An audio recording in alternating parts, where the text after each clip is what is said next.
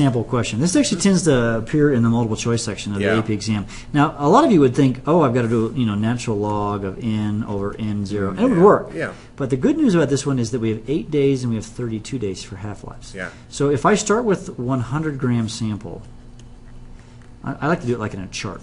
Mm-hmm. This is the mass, and this is the time. So at 100 gram sample, that would be zero. at day zero, right. Right. And then if I go to eight days, Eight days. That's one half life. one half life, of course, there will be 50, 50. grams.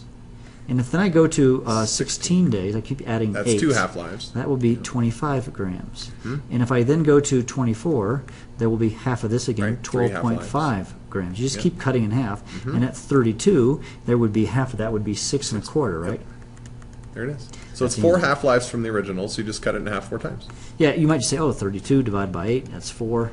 Um, and then you figure out it's the fourth half life. One, two, three, four. Watch that. You do have a zero half life too, so you don't want to get the third one when you should have the fourth one. And that will be one of the choices, a guaranteed. Yeah. Yes. Yeah. Exactly. So watch that. It's tr- tricky, but if it's a multiple choice question with half lives, just make a little chart, and boom, you're going to have this answer in well, what about a minute, probably, Or less. or less. Yeah. Okay. How do we use radioactivity? What's the point? Uh, What do we use? What do we? How, what do we use to detect it? well, do we detect it with the Geiger counter. And that just detects the alpha particles or the beta particles that are coming off of a decomposing. yeah. So uh, Compound. we have these devices that can measure uh, radioactivity. You might have seen it in the movies Yeah. and stuff like that. Yeah. Tick, tick, tick, tick, tick, tick, tick. Yeah. Yeah. Okay. Um, there's a number of four. Th- I got four things that, that we use electro. Uh, we use nuclear stuff for. We use it for old things. Yep. Well, Just the example we just did. yeah, the carbon 14 dating. Um, You can uh, date an old artifact uh, from you know and say this was you know the wood died 5,000 years ago or Mm-hmm. 2,000 years ago or whatever it might be. Also, there's some medical uses um, uh, for radioactivity. Yep. So Um, like uh, radioactive dyes for like we were talking about earlier, detecting heart blockage. So Yeah. when my dad went in to get his heart checked out, they injected him with this dye, and then they hooked him up to an X-ray machine. They could see where that dye stopped in his heart. There was some blockage there, and Yeah. they had to go in Now, and but why would they use radioactivity?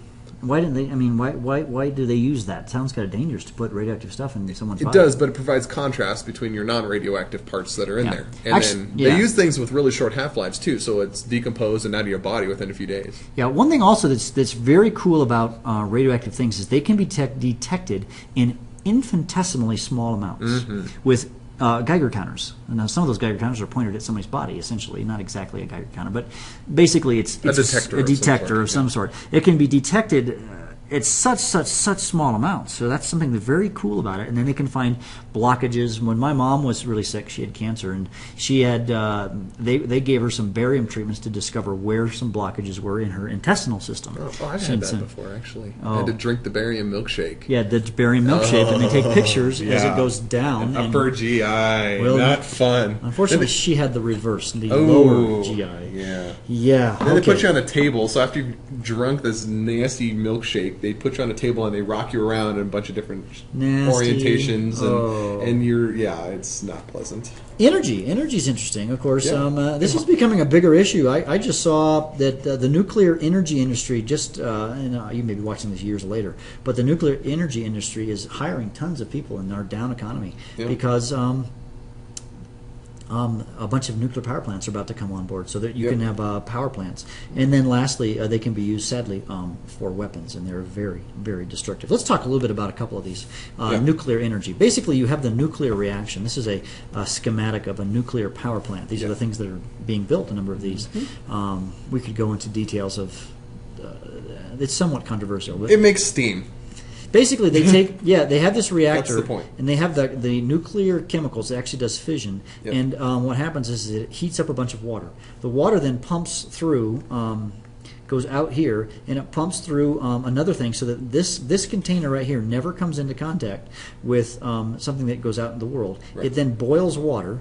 The water turns into steam. It then turns a steam turbine and you make electricity Yep. they then cool that water send it back it's just this loop you got like several loops happening By the way, the exact same process is used in a coal-fired power plant, Yes. but the source of the heat in the coal-fired power plant is burning coal. The source of the heat in a nuclear power plant is the nuclear reaction. One thing that's so nice about nuclear power is that you can use a very well. That's true, but it's also you can use a very very small amount of material to get a very large amount of energy. Yeah. energy. So the only problem with nuclear power is you've got a waste product when you're done that you have to do something with. But it's very very small amount of waste product. That's and there's true. no uh, greenhouse gas. Exactly, no So- greenhouse gas. So yeah, from a from a greenhouse standpoint, it's very very clean. So a lot of people really think nuclear power is is a great opportunity or Yeah. option for uh, uh, the world's power. Many other countries uh, than the United States use it um, almost exclusively for their. Uh, yeah. See, my brother and my dad are coal miners, so I can't. So you- I, I can't say I like nuclear power because they'll Oh. get mad at me.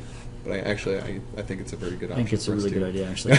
okay, um, now why do scientists get so excited about all this nuclear stuff? Because Well, it's neat. no, it's because it's Because it's the last podcast. no, it's because it's lots of energy. Oh, okay. Because if you think about it for a moment, this is actually the in- interesting thing about nuclear. This Oh, is what gets them kind of all jazzed up.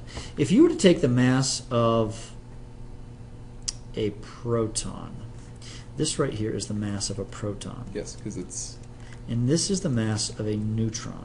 yeah. But if you were to look at an oxygen atom and find out the mass of the nucleus of an oxygen atom, it would be eight of these. So let's actually do the math on this, Mr. Okay. Sams. So if I take eight protons, so eight times 1.6726 times 10 to the minus 27th plus two. I'm going to include that last digit. In there. six two. Yeah, you should do the whole thing. Actually, I, I did two six two. Yeah, and then we took eight times one point six seven four nine three times ten to the minus minus twenty seventh, and we added those up. We would get what? Mr. Sams I'm is working on it. busily typing, trying to figure out how to do this in his computer. Whoops! I just screwed something up. Urgh. All right. Put the plus sign in the wrong spot in the parentheses. in there. Ah! And the All right. After much Yeah, deliberation, sorry Mr. about that. Sams actually added it up. It is what, Mr. two Sams? point six seven eight zero four times ten to the negative twenty sixth.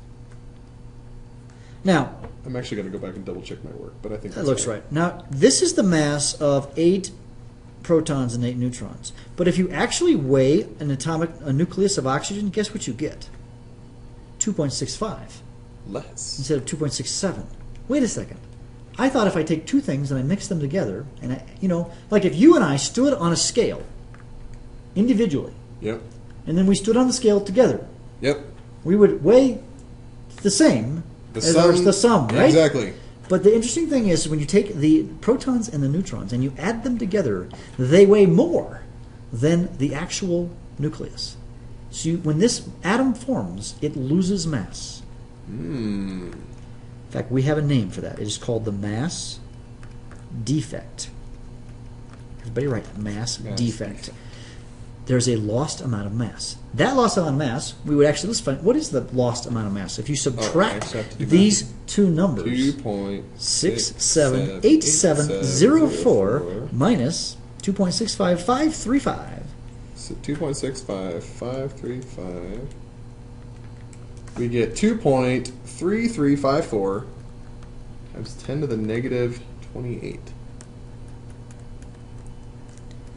So you lose two point three whatever times ten to the minus twenty eight kilograms. What happens to that mass? Um, it It doesn't- deposits itself on my love handles. No, Oh, it is converted to energy. All right. Oops, it's called the mass Yeah, look at defect. All right. So we have. Let's look at our number here. And actually, this utilizes an equation. This is a very famous equation. You might know Oh, this. yes. E equals mc squared. Einstein's important equation. So it's actually, as a side note, it's not actually E equals mc squared. It's E equals delta mc squared. The change in the mass. Oh. Our change in mass was two point what? uh, I don't remember. 2.33 times 10 to the minus 28th. By the way, the m does have to be in kilograms. Yep. Times c is the speed of light, which is 3.0, times 10 to the 8th meters per second. But you not only do you take that number, which is a big fast number, but you square it and you get how many? You get two point one zero times ten to the negative negative eleventh joules. I believe it's joules. Yeah, Yeah, that's joules. that's Now- joules per, per atom. atom. So if we were to have a mole of those atoms, you would times this by 6.02 times 10 to the 23rd Yep. atoms in a mole. And you get 1.27 times 10 to the 13th joules. That's joules, and if we divide that by a thousand, Uh, 1.26 or 1.27 times 10 to the neg- or times 10 to the 10th. and that's Kilojoules. kilojoules. Now, the reason I do this, that's per oxygen. mole. If you were to burn methane, this is natural gas that we get out of the ground. It's 882 kilojoules per mole. How much more would you get out of this? Take this number, Mr. Sams, Okay. and divide it by 882. I think it's about a million.